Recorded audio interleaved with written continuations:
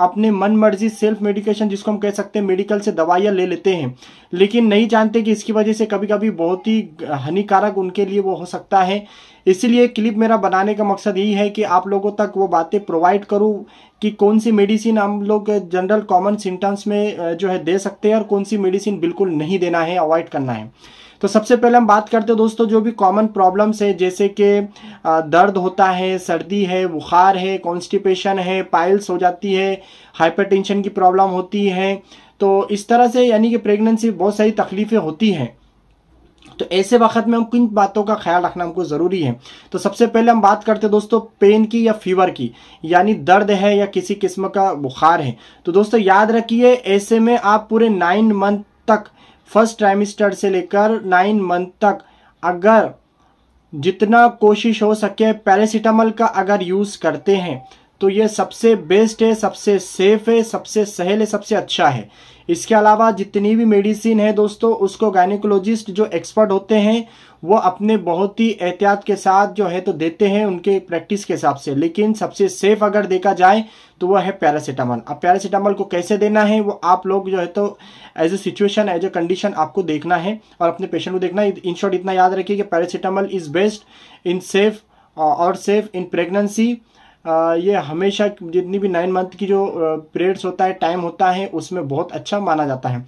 इसके अलावा आपको क्या नहीं देना इसमें दर्द में? आपको एनएसआईटीज यानी नॉन स्ट्रॉइडल एंटी इंफ्लामेटरी जो ड्रग्स होती है, उसको बिल्कुल नहीं देना इसके अंदर। इसको बहुत खास तवज्जो याद रखें, क्योंकि मेडिकल पे कोई भी बंदा जब जाता है कि दर्द की दवा दो, दर्द की गोली दो तो ज़ाहिर सी बात है मेडिकल स्टोर वाले उनको जो है काउंटर पर ऐसी दवा दे देते हैं, जो कि एनएसआईडीज में होती है, और जो प्रेग्नेंट वीमेन के लिए हानिकारक हो सकती है। इसलिए आप ख्याल रखें कि आपको क्या देना है, क्या आपको नहीं देना है। अब बात करते हैं दोस्तों हम कफ एंड कोल्ड्स की। तो देखिए, ये कफ एंड कोल्ड की अगर बात करेंगे तो पहले ट्राइमिस्टर के अंदर हम लोग को सेट्रीजिन का थोड़ा सा अवॉइड करना है। एक्सपेंट्रोन जो मेडिसिन होती है, खासकर जो प्लेन एक्सपेंट्रोन जिसको हम कह सकते हैं, उस तरह की मेडिसिन हम इसमें दे सकते हैं और सेट्रीजिन से थोड़ा फ़र्स्ट जो ट्राइमिस्टर होता है, उसमें हम एहतियात करना चाहिए। और जो उसके बाद का ट्राइस्टर है, उसमें डेस्टर मितारफन वगैरह के जो है तो हमको एहतियात। अब थर्ड की बात करेंगे प्रॉब्लम की वो है दोस्तों? कॉन्स्टिपेशन कॉन्स्टिपेशन में लाइटली जो है, कैसा है, जो पहले की कंडीशन थी, पहले जो इसके बाद लिक्विड जो पैराफिन वगैरह आता है तो उसके डोज के अंदर हमको मेंटेन करना होता है। लेकिन ये जो कि सेफ़ है प्रेगनेंसी के अंदर कॉन्स्टिपेशन अगर होता है तो उसमें पैराफिन लिक्विड जो आता है, या डुफेलेक वगैरह, या सब गोल, ये सब सेफ़ है। लेकिन जो हेवी होता है, वो इसमें अवॉइड करना चाहिए। दोस्तों प्रेगनेंसी के अंदर हाइपरटेंशन हो जाना एक कॉमन प्रॉब्लम बन चुकी है।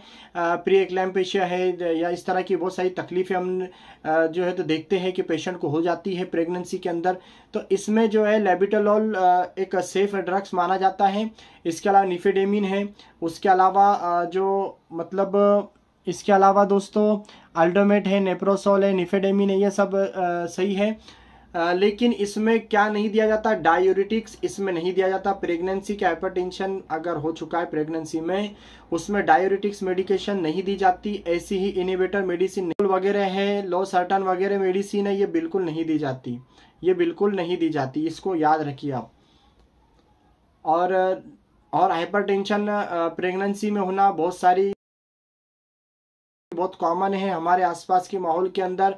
इसमें क्या क्या चलता है दोस्तों? इसके अंदर आई एन एच और इथेम्बेटॉल तो ये हम दे सकते सेफ़ है रिफाइन फिसिन इफ़ डिज़ीज़ एक्सटेंसिव अगर डिज़ीज़ एक्सटेंसिव है तो रिफाइन फिसिन दे सकते हैं। और अब इसमें क्या ख्याल रखना है? स्टोप्टी स्टोप्टोमाइसिन और इसमें पैराजिनामाइट इसमें सबसे खास चीज़ याद रखिए स्ट्रेप्टोमाइसिन पैराजिनमाइड आपको बिल्कुल नहीं देना है। लेप्रेसी के अगर प्रेगनेंसी प्रॉब्लम है तो डेप्सम और रिफाइनपिसिन दे सकते हैं, लेकिन याद रखिए फ़र्स्ट टाइमिस्टर में आपको हैंसपेरान जो है नहीं देना है। अब बात करते दोस्तों ब्रोंकल अस्थम अगर किसी को है तो all bronchodilators oral inhale bronchodilators inhale steroids वगैरह इसमें दी जाती है, लेकिन बहुत ही याद रखें, आपको स्ट्रॉइड्स और फ़िल्टर स्प्रे वगैरह इसमें बिल्कुल नहीं देना है।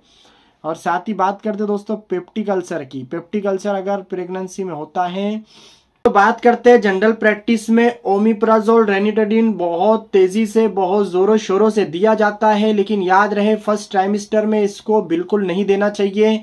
याद रहे रेनिटेडिन जैसे कि ऐसी लोग बहुत कॉमन है, सभी जानते हैं उसके ताल्लुक से तो ओमिप्राजोल है, रेनिटिडिन है, ऐसी मेडिसिन फ़र्स्ट ट्राइमिस्टर में नहीं देना चाहिए। इसमें एहतियात के प्रेगनेंसी के अंदर तो दोस्तों इन्वेस्टिगेशन प्रेगनेंसी में जो सेफ़ है, वो सोनोग्राफी है। Sonography commonly first trimester second third में की जाती है। दो तीन मरतबा अगर कोई सिचुएशन कंडीशन है तो उससे जायद मरतबा कम जायद मरतबा की जाती है।